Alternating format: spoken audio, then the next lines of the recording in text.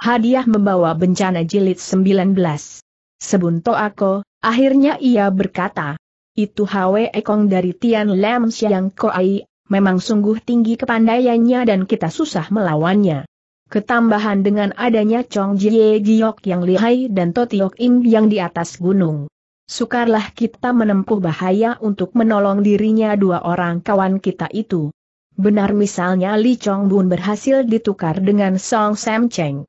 Tapi bagaimana dengan Aoyang Ti dan Hwe Petit yang ditahan dalam kawanan penjahat itu? Apakah kita tega setelah kita tahu lantas kita tidak mempedulikan kepada mereka? Sebon Pa membisu, sedang Gan Sunio juga tidak berkata apa-apa dan mengawasi kekasihnya dengan penuh rasa kasihan. Ya, terjadinya peristiwa ini adalah usulnya Li Chong Bun sendiri. Aku juga bersalah. Biasanya rencanaku berjalan lancar, ternyata kini ia dikalahkan musuh. Li Chong Bun sudah kena perangkap, kata Sebon Pa dengan suara menyesal. Boyang Kang masih terus jalan mondar-mandir dengan tidak mengatakan apa-apa. Ya, sebenarnya aku di pondok Gunung Cip Cui Hang dalam kamar batuku, setelah membakar buku obat racun Pek Tok Cintong di hadapanmu, berkata Sebun Pa. Aku sejak saat itu memang bersumpah tidak akan menggunakannya lagi. Tapi kini kenyataannya kita menghadapi musuh berat, perlu kita membinasakan musuh-musuh kita dan menolong dua kawan kita, terpaksa aku harus menggunakan obat racunku untuk melayani mereka. Sekarang kita tunggu dahulu kedatangannya Tenggoan Hoshio, bagaimana perihal tugasnya. Kalau Sebun Padan Boyang Keng sedang bingung menghadapi musuh-musuh berat adalah Chong Jie Giok di atas gunung telah melihat ada tiga puluhan orang-orangnya yang mati dan terluka parah. Sedang pedang penakluk iblis sudah jatuh di tangan Gan Sunio pula. Hatinya bukan main panasnya. Kemurkaan ini telah semuanya ditumpahkan kepada dirinya Li Chongbon yang saat itu dalam keadaan tidak sadarkan diri dan diikat dengan tambang besar dan kuat. Ia lalu memerintahkan orang-orangnya supaya di lapangan disediakan papan untuk Li Chong Bun bersandar dengan tubuh terikat. Kira-kira ada tiga tombak jauhnya dari papan tadi Chong Jie Giok telah menyediakan 12 pisau tajam. Setelah melihat Li Chong Bun sudah disendarkan di papan dengan diikat kencang-kencang dengan tambang besar, ia lalu berkata kepada orang sebawahannya sambil ketawa nyengir. Ayo kau cepat-cepat ambil obat pemunah racun bikinan Tok Tiok Im Yang P untuk membuat mendusin ini penjahat kecil. Biar dia menyaksikan dengan mata kepala sendiri kelihayan kita. Setelah ia ketakutan barulah aku dengan perlahan-lahan akan membinasakannya. Orang yang diperintah lantas berlalu dan tidak lama sudah datang kembali dengan membawa obat yang dimaksudkan. Obat itu hanya didekatkan pada hidungnya Li Chong Bun yang telah mengendusnya dan sebentar kemudian ia sudah mendusin dari pingsannya. Ketika ia membuka matanya, ia melihat Chong Jie Giok berdiri di hadapannya sejauh tiga tombak. Mukanya kelihatan bengis sekali dan di sekitarnya berdiri para penjahat kepala gundul, Hwasyo, yang sudah siap dengan senjata masing-masing, bahkan mereka menggunakan juga senjata gelapnya kalau perlu. Li Chong Bun saat itu merasa dirinya mungkin akan menemui kebinasaannya sebab taruh kata ia bisa lolos dari kawanan penjahat kepala gundul itu, tentu tidak akan terluput dari senjata kipasnya Chong Jie Giok yang ganas dan kejam. Meskipun demikian ia tidak putus harapan, ia masih mencoba mencari akal. Ia pura-pura terus dalam keadaan pingsan, akan tetapi diam-diam ia telah kerahkan tenaga dalamnya. Sayang perbuatan itu tidak bisa lolos dari matanya Chong Jie Giok yang awas. Dia telah melihat Li Chong Bun mengendus obat pemunah racun lantas kelihatan dadanya naik turun yang tadinya pernapasannya sangat lemah. Bocah, jangan kau pura-pura mati, hahaha, Chong Jie Giok tertawa. Dahulu dalam markas Leng Ce kau demikian jagoan. Tapi sekarang dikemanakan kegagahanmu itu? Perkataannya ditutup dengan meluncurnya sebilah pisau ke arah Chong Bun. Li Chong Bun menghadapi bahaya maut itu tidak keder, ia percaya bahwa orang tidak akan membunuh dirinya sekaligus. Maka ia tidak ambil peduli terhadap pisau yang diterbangkan tadi. Ia hanya menggunakan tenaga dalamnya untuk membuat pisau itu agar nyeleweng dari tujuannya. Chong Jie Giok heran melihat pisaunya nyeleweng dari arah tujuannya. Ia melihat anak muda itu tidak bergerak apa-apa. Ia lalu mengirim dua bilah pisau lagi menyerang ke pinggiran telinganya Li Chong Bun tapi juga anak muda itu tinggal tenang-tenang saja. Ia hanya menarik nafasnya dalam-dalam, kemudian meniup untuk coba menolak pada dua pisau yang melayang ke arahnya hingga tertahan di tengah jalan dan kemudian natuh di tanah. Sebenarnya dengan tenaganya yang dikerahkan pada saat itu Li Chong Bun dapat membuat tambang besar yang mengikat dirinya, tetapi ia tidak mau. Rupanya ia ingin menyaksikan penjahat Chong Jie Giok itu akan berbuat paah terhadap dirinya. Justru Li Chong Bun acuh tak acuh sikapnya menghadapi kematian, maka hatinya penjahat muka putih itu menjadi panas. Ia tidak percaya akan kekuatan tenaga dalamnya yang hebat.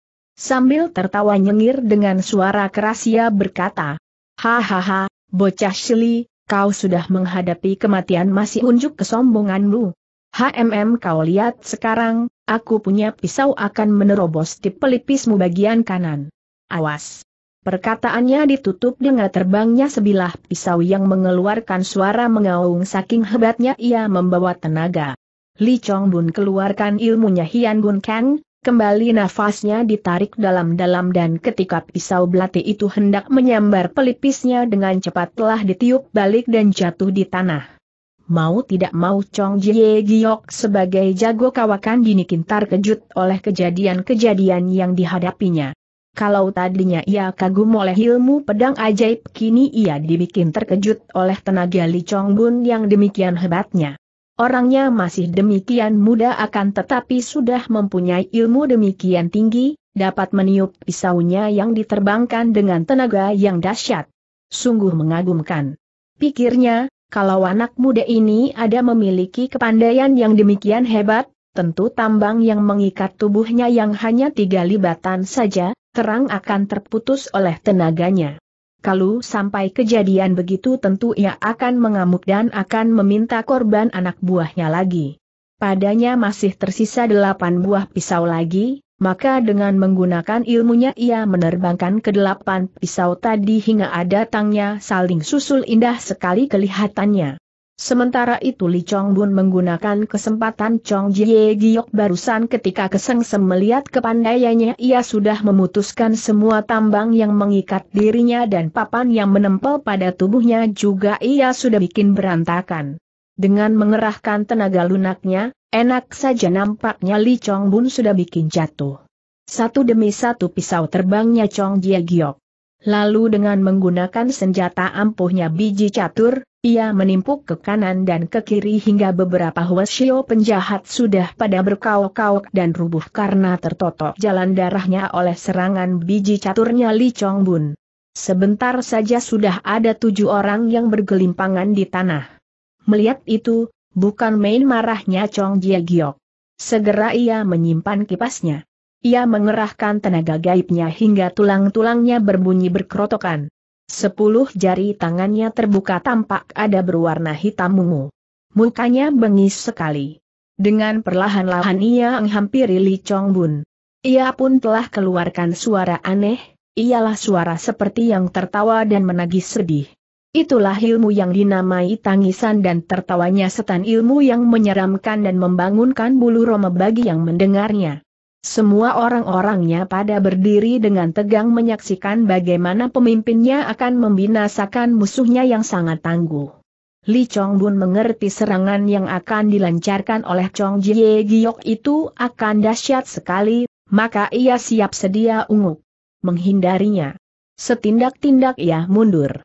Ia diam-diam mengerahkan ilmunya Hian Bun Kang menutup jalan darahnya supaya jangan kena ditembus serangan yang beracun dari musuhnya. Chong Jie Giok setelah menghentikan suara anehnya yaitu tangisan dan tertawa setan lalu menggetarkan perasaan. Tidak heran kalau ada beberapa anak buahnya yang tak tahan dengan suara aumannya yang hebat itu sudah pada rubuh meloso sambil menutup telinganya masing-masing. Iblis tua itu setelah mengunjukkan akalnya yang menyeramkan lalu mengebutkan lengan bajunya segera juga tubuhnya telah melesat ke udara kira-kira empat tombak. Dari sini ia menukik dengan membuka lebar sepuluh jarinya yang sekarang telah berubah hitam seluruhnya. Dari jari-jarinya itu mengeluarkan suara syut-syut yang nyaring sekali maka dalam lingkaran sepuluh kaki saja sudah berada dalam serangan angin tenaganya yang kuat dan hebat. Li Chong Bun tidak melihat jalan lain daripada mengadu kekuatan dengan iblis telengas itu untuk menyingkir, tidak semudah seperti beberapa saat berselang. Maka ia mengerahkan tenaganya. Ia menggunakan tenaga saktinya untuk melawan sepuluh jarinya Seng lawan dengan satu jari. Saja. Ia sudah perhitungkan untuk bersama-sama binasa dengan musuhnya. Keadaan sudah menjadi sangat tegang. Tiba-tiba pada saat itu terdengar siulan panjang yang nyaring. Orangnya dalam sekejap sudah berada di depannya Chong Jie Giok dan mencegah iblis telengas itu meneruskan serangannya. Untung Chong Jie Giok masih dapat menarik pulang serangannya itu sebab kalau tidak, bagaimana akan nasibnya dia dan Li Chong Bun. Ternyata orang yang datang tidak lain daripada siluman kedua dari Tian Lam Siang Ko Ai Hwe Ekong. Chong Jie Giok tak mengerti kenapa Hwe Ekong mencegah ia turun tangan berat kepat musuhnya, tetapi ketika Hwe Ekong memberi keterangan barulah ia tahu sebabnya. Hwe Ekong kata kepadanya, Seng Hyante Sam Cheng telah ditahan oleh kawan-kawannya penjahat kecil ini, mati hidupnya kita masih belum tahu.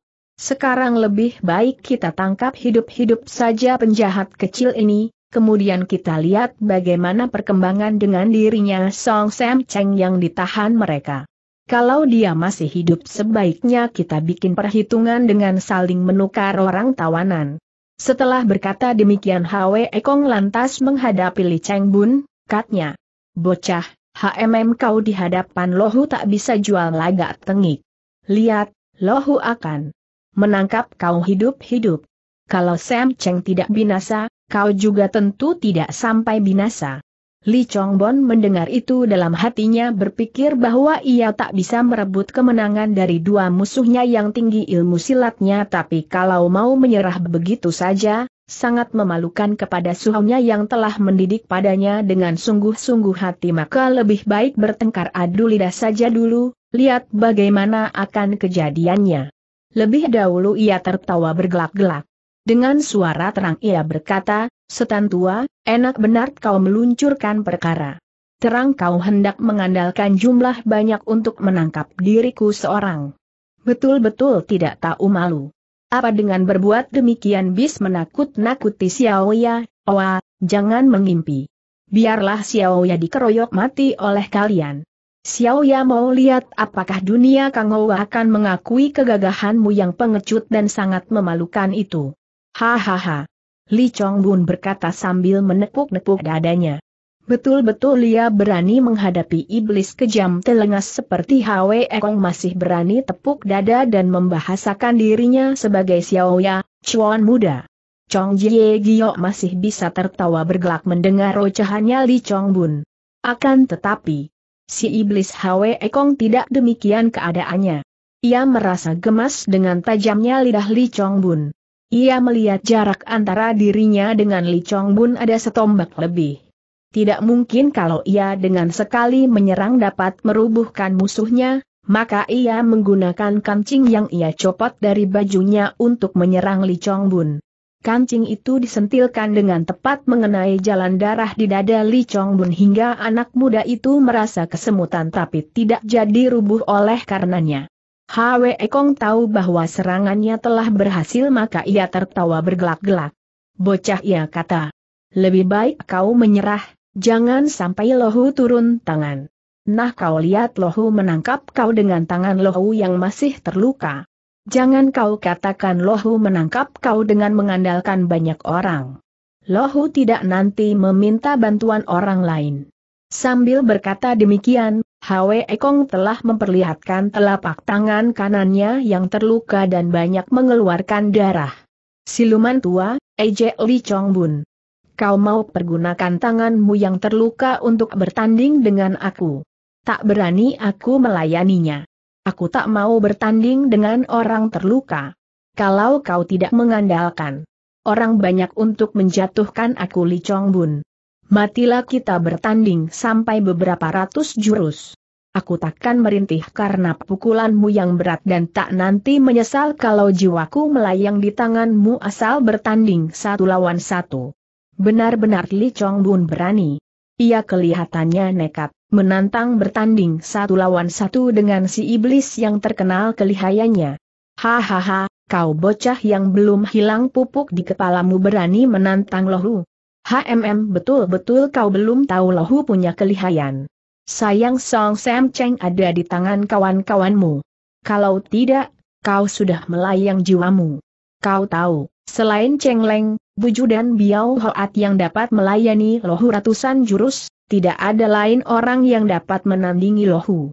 Boleh kau bilang begitu, memotong Li Chong Bun. Aku sendiri tidak takut kau. Mungkin juga tiga orang yang kau sebutkan tak dapat menjatuhkan padamu, akan tetapi aku, siapa tahu bisa menjatuhkanmu. HMM KW Ehang menggeram. Diam-diam ia merasa panas dengan kelakuannya Li Chong Bun yang kelihatannya menghina kepadanya seorang jagoan kawakan.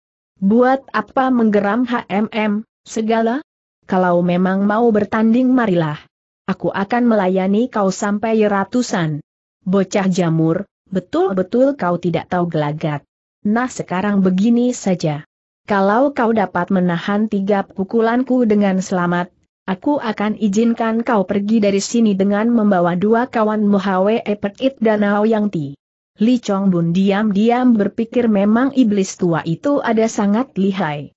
Meskipun telapakan tangannya terluka tapi pukulannya tentu hebat bukan main. Apa ia punya ilmu Hian Bun Kang dapat digunakan untuk melawannya? Ia merasa sangsi. Tapi dalam keadaan seperti itu untuknya tidak ada pilihan jalan lain daripada menerima syarat yang diunjukkan oleh iblis tua itu. Boleh jawabnya ringkas. Berbareng ia mengerahkan tenaga saktinya untuk menyambut pukulan-pukulan yang akan dilancarkan oleh Hwe Ekong. Perkutian Ong Hwe Ekong lantas-lantas bersiap-siap. Sekali ia menggerakkan telapak tangan, kekuatan tenaga yang dahsyat meluncur menyerang dadanya Li Chong Bun. Cepat anak itu enjot tubuhnya melesat ke udara dengan menggunakan tipu burung bangau menerobos awan.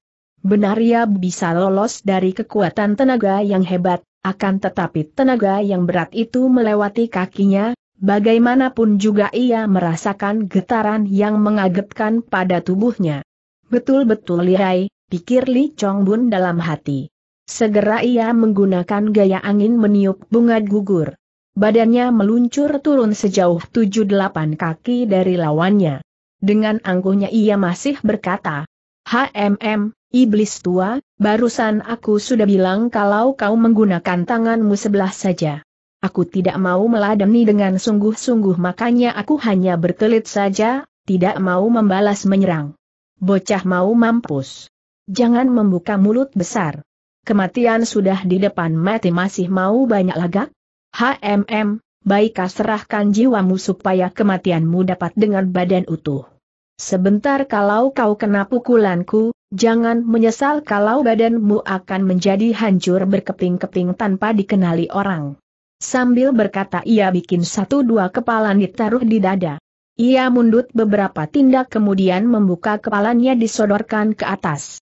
Ini adalah serangan kombinasi yang membuat lawan tidak bisa melarikan diri karena angin pukulan yang keluar dari dua tangan itu memukul ke banyak jurusa.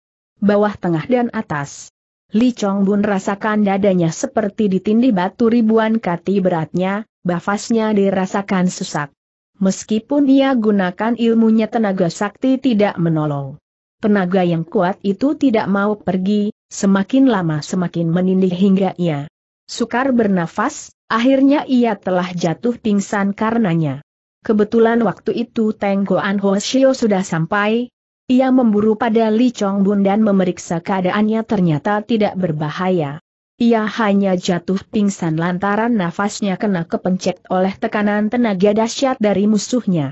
Sambil berpaling kepada Hwe Ekong yang masih berdiri tidak jauh dari situ, Teng Goan Hoshio berkata, Ya Song Sam Cheng ada di tahanan kami, sedang Li Chong Bun kini menjadi orang tawananmu, baiklah besok malam jam 10 di puncak Chiang Jin Hang kita bersama-sama membawa orang tawanan buat di sana ditukarkan.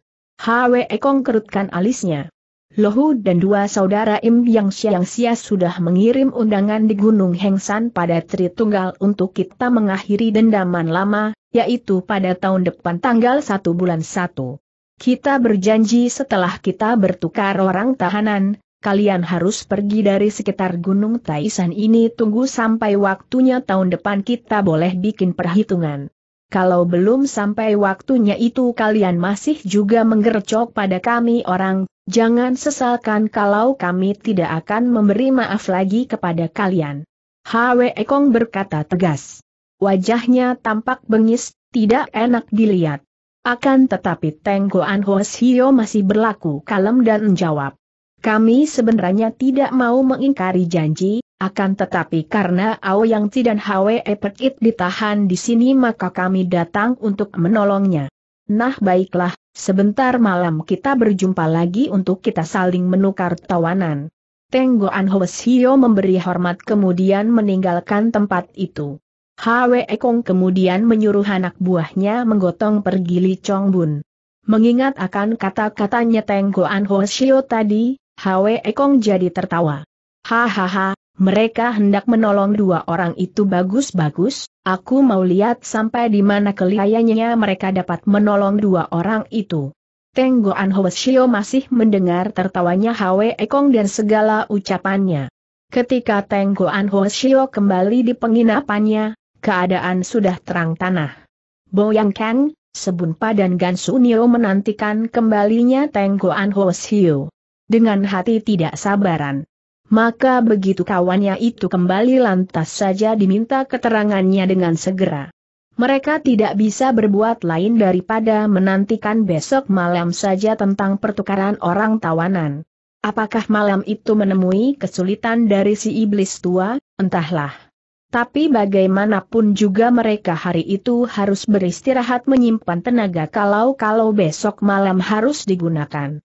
Dalam semedinya pikirannya Sebonpa melayang-layang.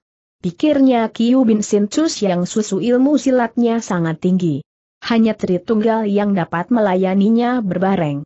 Kwe Ehun dan Pek Hun dari kuil naga emas disangsikan dapat melawan Hwe Chiang ditambah oleh Hwe Ekong dan Chong Jia Giok. Keduanya ini sangat susah dilayani pada tahun depan pertempuran di puncak Cheng Chin Bong meskipun pihaknya mendatangkan Biao Hun dan Ang Hun juga percuma saja tidak dapat melawan musuh-musuhnya yang kuat. Untuk dapat membasmi musuh-musuh iblis yang kuat itu tidak ada jalan lain daripada minta bantuannya pendekar rulung. Ia tidak khawatirkan Li Chong Bun yang berada dalam tawanan musuh, yang sedang ia pikirkan bolak-balik adalah itu pertempuran tahun depan nanti. Tiba-tiba ia melompat bangun setelah beberapa kali mengkerutkan alis. Ia tampak kegirangan. Ternyata Sebonpa ada ingat kepada pengalamannya tempo hari di gunung. Koulousan dalam provinsi Kengse ia menemukan sebuah gua ajaib, dalam mana ia menemukan Pek Tok Chin Keng, kitab obat-obatan racun. Saat itu saking kegirangan, ia sudah puas dengan hanya memiliki kitab itu, tidak mau meneruskan mencari lagi kitab lain yang berharga yaitu Pek Hap Chin Keng. Satu kitab yang memuat intisari dari ilmu silat yang tinggi. Dalam kitab itu hanya memuat beberapa ratus huruf saja. Tapi siapa yang dapat mempelajari dengan berhasil niscaya akan menjadi orang yang tak terkalahkan dalam dunia rimba persilatan. Ilmu-ilmu silat dalam kitab itu dahulunya ada dimiliki oleh Tian Ju Chuncia dan Tian Chok Chin Jin. Ialah pada 300 tahun yang lampau Tian Ju Chuncia telah menjelajah ke seluruh pelosok dari dunia untuk mempelajari semua ilmu silat yang tinggi. Dalam goa di Gunung Kou Leusan itu ia telah menyusun ilmu pelajaran itu dan dinamakan Pek Hap Chin Keng.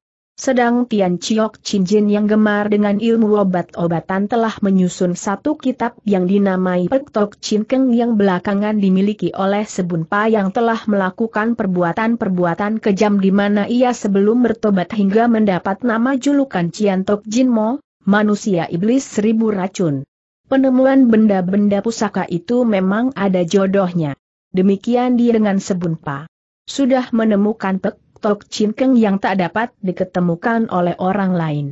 Maka pikirnya Sebon pas siapa tahu kalau Pek Hap Chin Keng ada berjodoh dengan Li Chong Bun yang muda dan gagah. Anak muda itu sudah mahir menggunakan segala ilmu yang dipelajari dari wujud dan Cheng Leng malah belakangan ia mendapat lagi ilmu pedangnya Gan Sunio yang hebat yaitu 13 gerakan pedang ajaib. Maka kalau Cheng Bun ditambah dengan pelajaran yang didapat dari kitab Pek Hap Chin Keng terang ia akan merupakan satu pendekar tanpa tandingan dalam dunia persilatan. Li Chong Bun ada berangan-angan tinggi.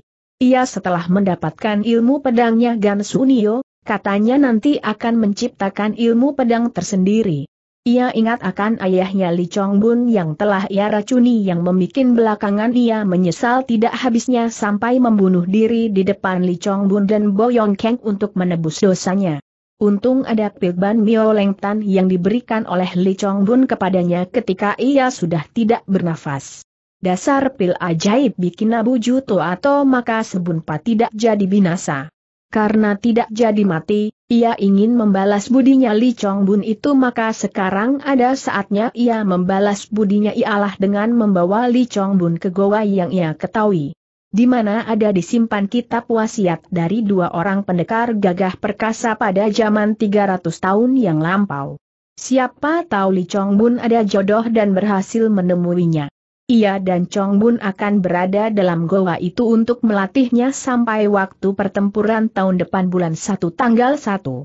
Waktu itu pasti Li Chong Bun sudah meyakinkan sampai mahir ilmu yang didapatnya dari Pek Hap Chin Keng. Dengan kepandaiannya ini sudah tentu Li Chong Bun dapat menyapu jagoan-jagoan iblis yang mana saja. Dengan pedang penakluk iblis yang tajam luar biasa. Li Chong Bun dapat menaklukkan semua iblis sesuai dengan nama pedang yang ia gunakan. Demikian pikirannya sudah tetap. Kalau nanti Li Chong Bun sudah dipulangkan dan Hwe Pekit Danau yang tikalau bisa sudah ada di antara kawan-kawannya, ia dengan Li Chong Bun akan berangkat ke Provinsi Kengse untuk mencari goa yang dimaksudkan guna mendapatkan kitab Pek Hap Chin Keng yang ajaib. SNG waktu dirasakan lambat sekali jalannya tapo toh akhirnya sampai juga sang malam ialah waktu di mana Li Chong Bun akan ditukarkan dengan Song Sam Cheng. Mereka lantas membawa Song Sam Cheng yang tidak berdaya karena jalan darahnya ditotok.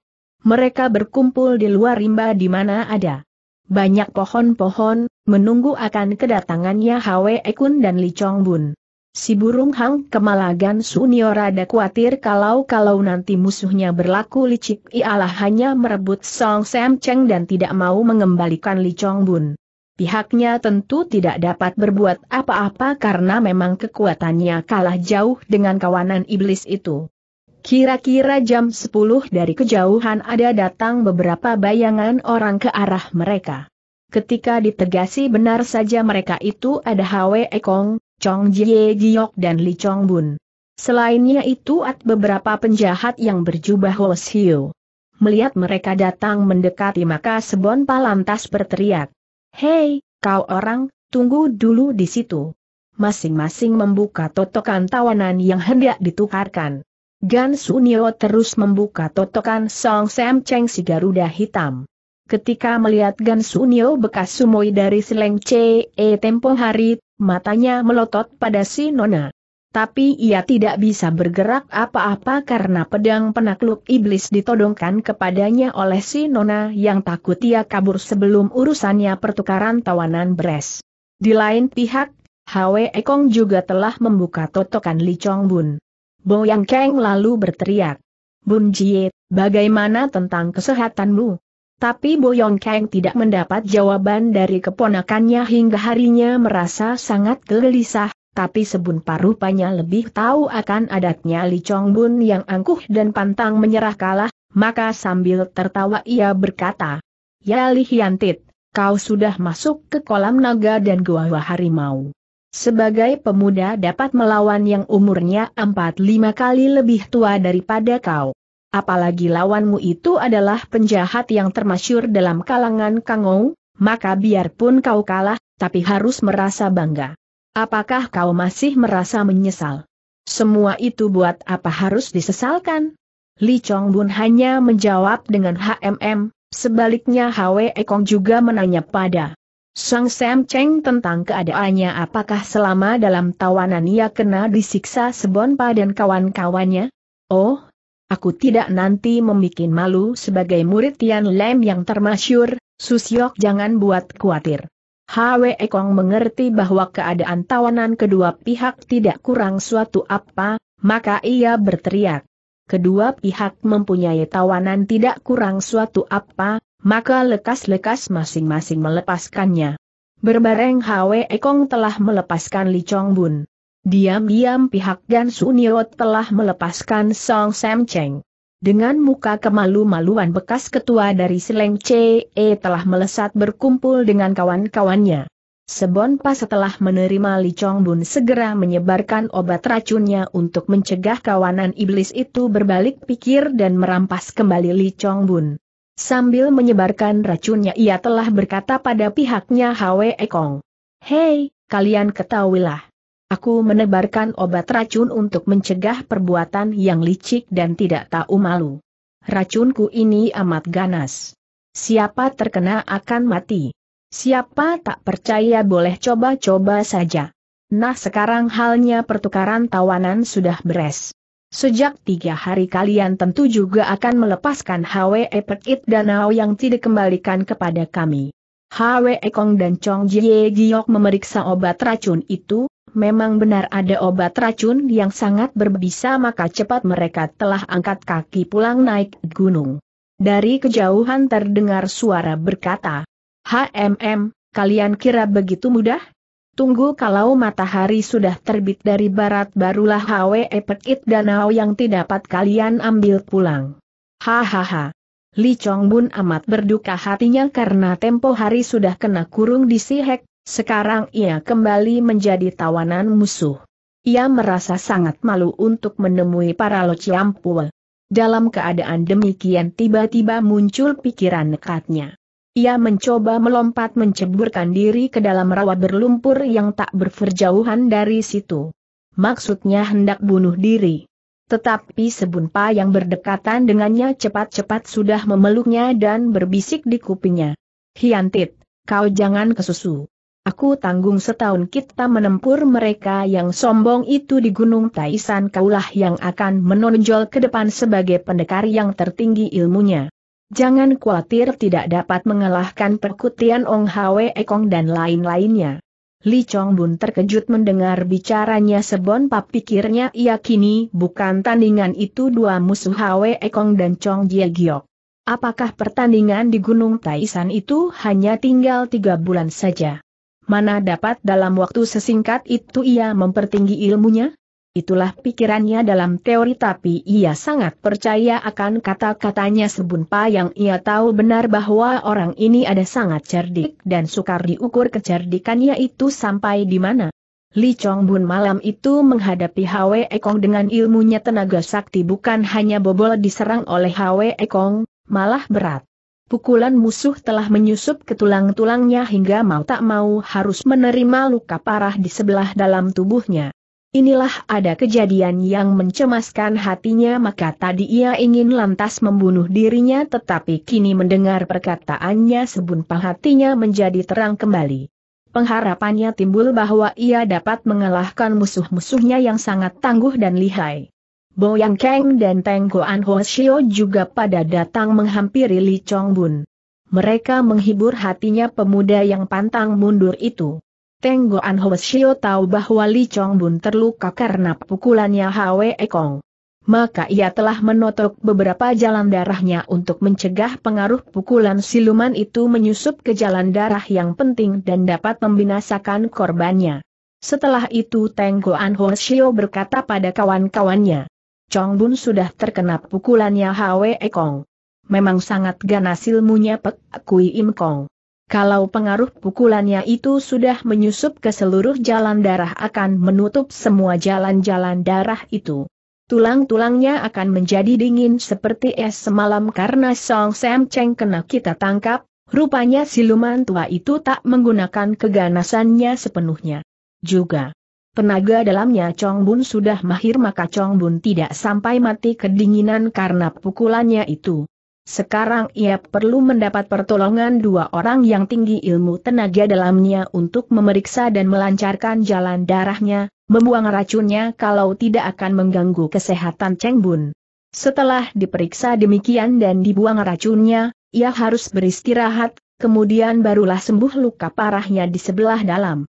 Maka sebaiknya lekas-lekas kita pulang ke penginapan. Di sana barulah kita memberikan pertolongan kepada Cheng Bun. Mendengar kata-kata itu, segera Boyang Kang menggendong keponakannya. Terus turun gunung menuju ke tempat pondoknya. Sesampainya di penginapan segera Li Chong Bun dibawa masuk ke dalam kamar. Di sana ia mendapat pertolongan sementara dari Tengko An Ho. Jalan-jalan darahnya pada beberapa bagian dapat dibuka. Lantas kelihatan mukanya Li Chong Bun yang berwarna merah menjadi berubah warna kehitam-hitaman.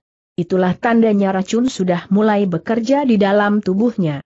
Juga ia mulai menggigil seperti yang sakit demam kedinginan. Pilbun Mialengtan sudah diberikan pada Sebun Pa tidak dapat menolong Li Chong Bun. Maka Tengko An Ho Shio telah memberikan dua butir pil bikinannya sendiri yaitu Kogoan. Leng Tan dan sebutir pilnya Cheng Leng Chin Jin. Tenggo An Shio lalu berkata pada Boyang Keng. Sute, mari kau dan aku bersama-sama menyalurkan hawa murni ke dalam tubuhnya Liong Bun untuk membantu melancarkan jalan darahnya, mengusir racun hawa dingin yang sudah menyusup ke tulangnya, hanya. Hei, Suheng kenapa kau berhenti bicara tegur Boyang Keng gelisah. Bukan begitu, sebenarnya dalam tiga hari lamanya kita harus bekerja sebagaimana yang dikatakan tadi. Tapi selama itu tak seorang pun di antara kita yang kena kaget.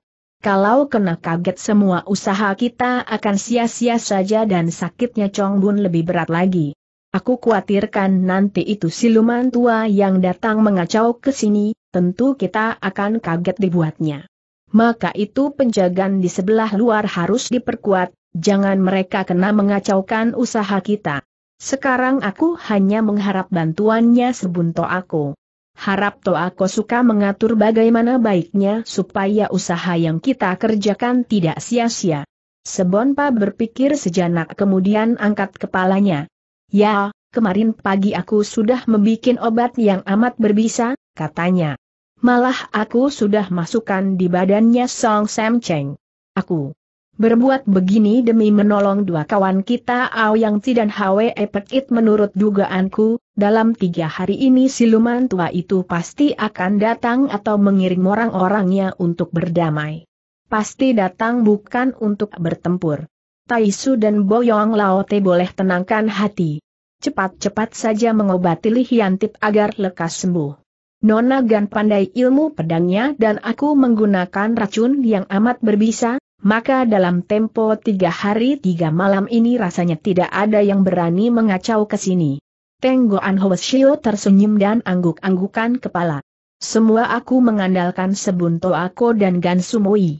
Nah kalian boleh mulai dengan penjagaan dan kami berdua di sini akan mengatur bagaimana baiknya untuk menolong Chong Bun. Sebun Pa dan Gan Sunio pada keluar dari kamar. Kini tinggal Tenggo An Shio dan Boyong Keng.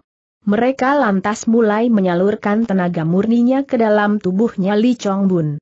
Pekerjaan itu bukannya gampang.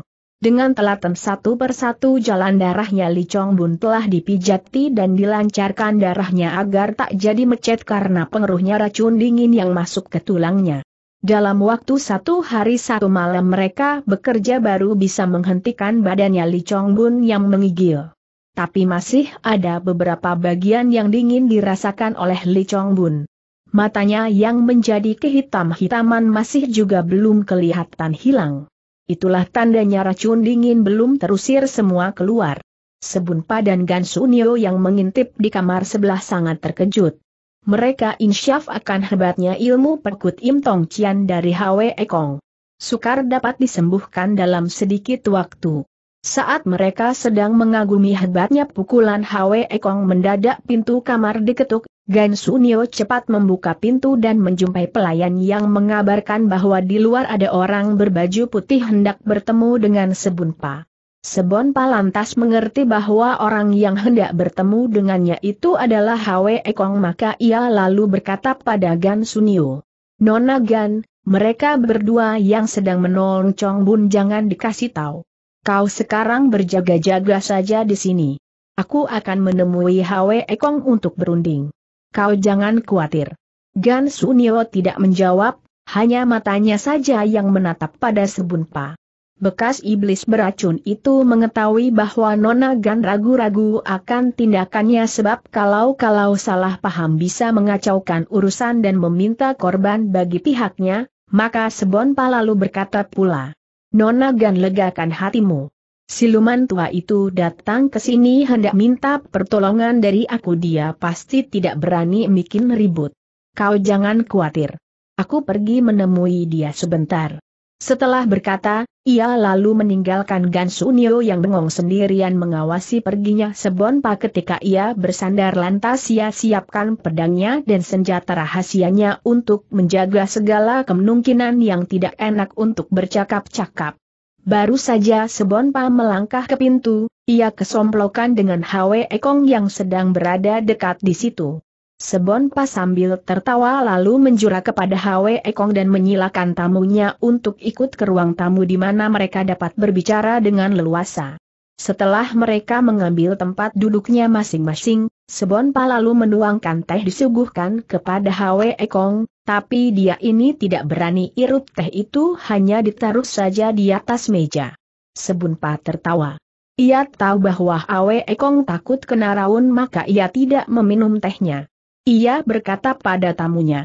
Ah Lo Chiampo punya ilmu perkut Im Hang Chiang itu benar-benar amat lihat tidak ada bandingannya. Kalau saja Cheng Bun tidak berilmu Cian Goan Kang dan Tai Ching Sin Kang pada saat ini barangkali tulang belulangnya sudah menjadi beku seperti es kami mana dapat membawa dia ke puncak Tai San untuk melihat-lihat dan menikmati pemandangan yang indah di sana. Hahaha. Hwe Ekong terkejut mendengar omongan. Ia sangat hati-hati menghadapi sebunpa yang dulunya bergelar Ciantok Jinmo, iblis beracun, hingga teh yang disajikan tidak berani ia minum.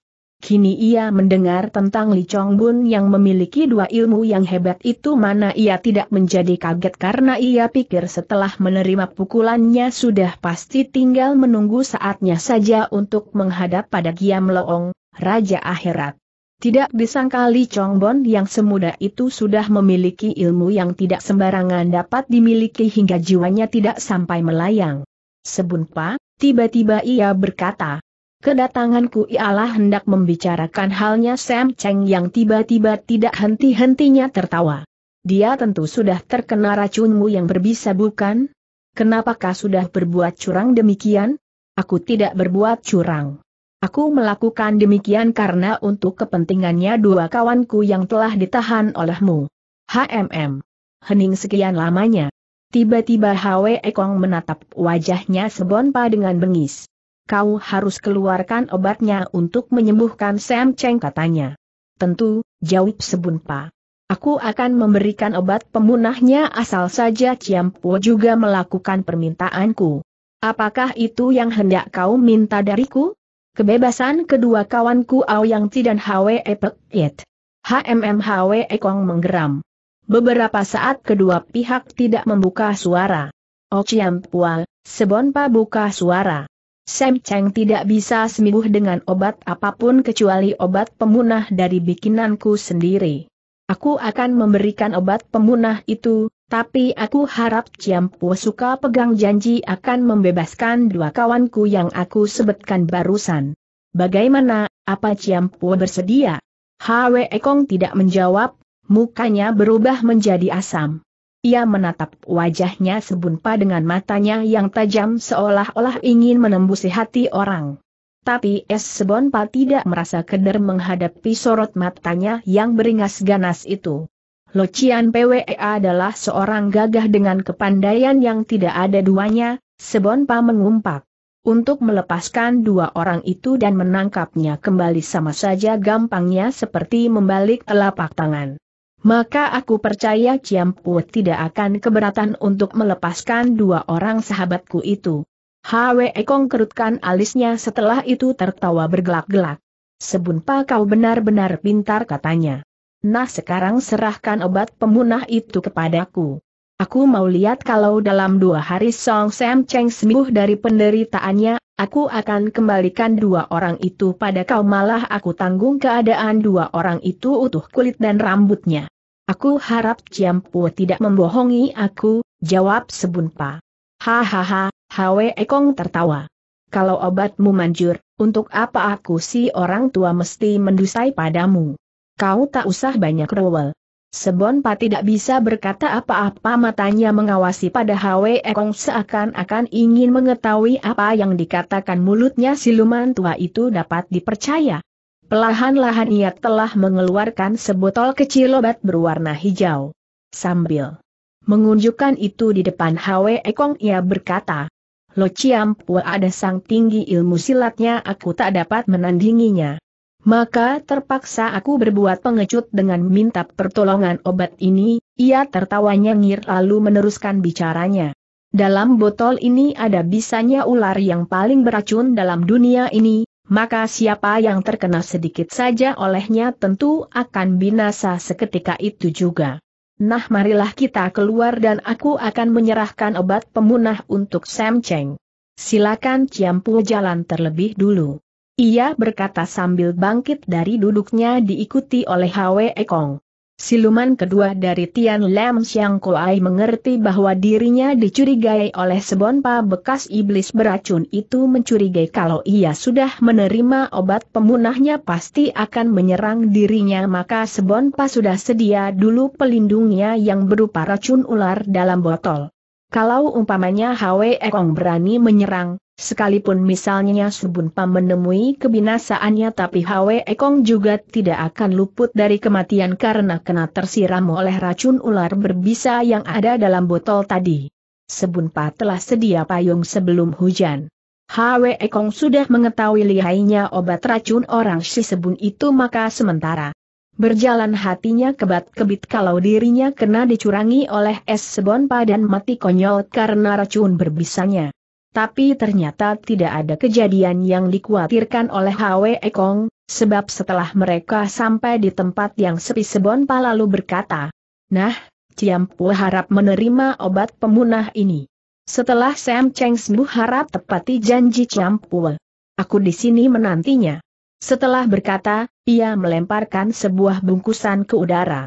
Hwe Ekong menyambut dan dengan tidak mengatakan apa-apa lagi ia sudah terus panjangkan langkahnya menuju ke atas gunung.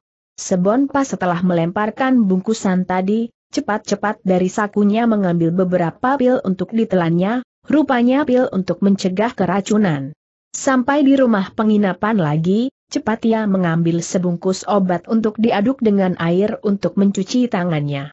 Gan Sunyo yang mengikuti dengan sembunyi-sembunyi apa yang dirundingkan oleh Sebonpa dan Hwe Ekong dalam hatinya ingin tahu dari mana Sebonpa bisa dapat obat berbisa itu, maka ia lalu menanya. Toako, siluman tua itu amat jahat, mana dapat dia dipercaya akan menepati janjinya? Dan itu obat racun berbisa dalam botol kau dapat dari mana? Sebunpa tertawa, katanya, ya, betul seperti katamu. Tapi dia adalah seorang yang ternama dalam kalangan Kangou, semestinya ia berlaku jujur. Tapi lihat saja. Jikalau belakangan ia mengingkari janjinya, kita mencari akal untuk membasmi habis itu kawanan penjahat. Ia berkata sambil keluarkan botol obat beracun yang berwarna hijau tadi. Ia lalu tuang di cangkir kemudian diminum dengan enak sekali kelihatannya. Di lain pihak Gan Sunio yang melihatnya menjadi pucat wajahnya. Ia kaget Sebonpa sudah meminum obat racun ular. Toako, ah kau, kau, ia hanya dapat mengeluarkan perkataan ini dengan terputus-putus. Tidak dapat mencegahnya, Sebonpa dengannya ada jauh juga. Tapi Sebonpa dengan tertawa telah berkata, Nona Gan, kau jangan khawatir. Legakan hatimu. Obat yang barusan aku minum itu bukannya racun. Aku hanya membikinnya untuk menakut-nakuti siluman tua itu saja. Sebab berbahaya sekali kalau dia tidak dipengaruhi oleh benda yang ia sangat takuti. Dia sangat liai, seperti kau sendiri ketahui bagaimana. Dengan dirinya Chong Bun yang terkena pukulan perkut Im Hang Chiang. To aku, ah benar-benar kau pintar sekali. Aku tadi sudah ketakutan karena kau minum racun sendiri, kata Gan Sunio. Hatinya lega sebab yang diminum itu bukan racun. Mukanya yang cantik jelita tampak ramai lagi dengan senyuman. Pada hari yang ketiga, waktu tengah hari masih meminta setengah harian lagi untuk Teng Goan Ho Shio dan Boyong Kang dapat mengeluarkan semua racun dari tubuhnya Li Chong Bun. Menurut pikiran Sebun Pa, Seng Sam Cheng yang telah minum obatnya saat itu tentu sudah sembuh. Akan tetapi kenapa Hwe Ekong masih belum mengirim pulang kedua kawannya? Hati Sebunpa menjadi gelisah. Sebunpa kelihatan banyak membisu, karena pikirannya tidak tenteram dengan dua kawannya yang ditahan oleh Hwe Ekong masih juga belum muncul. Gan Sunio melihat kelakuannya demikian telah menanya. Toako, kau biasanya sangat gembira. Tapi kenapa hari ini kelihatan sangat lesu dan saban-saban aku lihat kau mengerutkan alis, apa sih yang sedang kau pikirkan? Siluman tua itu sampai saat ini masih belum menepati janjinya hingga pikiranku jadi gelisah, jawab Sebunpa. Nah aku bilang juga apa orang semacam siluman tua itu mana dapat dipercaya. Dia hanya di mulutnya saja berjanji, tapi hatinya lain lagi. Sebonpa diam beberapa lamanya. Habis bagaimana tuh aku pikir tanya Gan Sunio. Kelihatan ia sangat kasihan kepada Sebonpa seperti yang sudah mati daya. Aku khawatir siluman itu betul-betul mengingkari nanjinya, tapi apakah ia tidak malu dicaci oleh dunia ia tidak melanjutkan bicaranya karena muncul seorang pelayan yang menyerahkan pada Gansunio kotak dari kulit. Entah apa isinya. Menurut keterangan si pelayan, Katanya kotak itu diterima dari seseorang yang tidak dikenal untuk diserahkan kepada Sebunpa. Aha, kata Gan Sunio setelah si pelayan berlalu.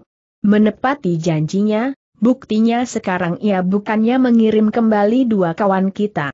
Sebaliknya telah mengirimkan kotak itu, kata Gan Sunio pada Sebunpa. Kotak lalu diletakkan di atas meja.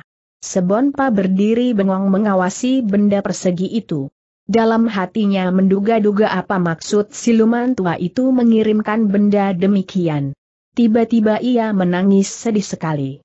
Air matanya terus bercucuran, sehingga Gan Sunio menjadi kaget. Hi, Toako kenapa? Kau bikin kaget orang saja, tegur si Nona.